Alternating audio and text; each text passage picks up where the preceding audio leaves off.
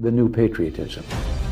This national feeling is good, but it won't count for much and it won't last unless it's grounded in thoughtfulness and knowledge. An informed patriotism is what we want.